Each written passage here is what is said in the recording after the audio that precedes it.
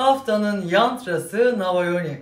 Doğum haritanızda Güneş, Jüpiter, Mars zayıf ve zararlı bir yerleşimde ise muhtemelen sahip olduğunuz maddi ve manevi değerler başkaları tarafından fazlasıyla merak edilecek, sevdiklerinizle alakalı konularda üçüncü şahıslardan kaynaklı sorunlarla sürekli uğraşmak durumunda kalabileceksiniz.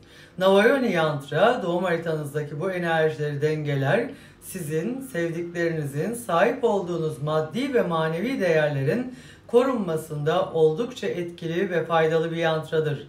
Şimdi Navayoni Yantra'nın hafta boyunca Astrodeha ailesinin tüm okurları için şifa olmasına, korunmaya, arınmaya, güzellikler, bereket ve şans getirmesine niyet ediyorum. Aldım kabul ettim. Evet, evet, evet yazalım yorumlara. Onyx, bakır, altın, gümüş, yantra koleksiyonumuz astrodehastore.com'da sizlerle.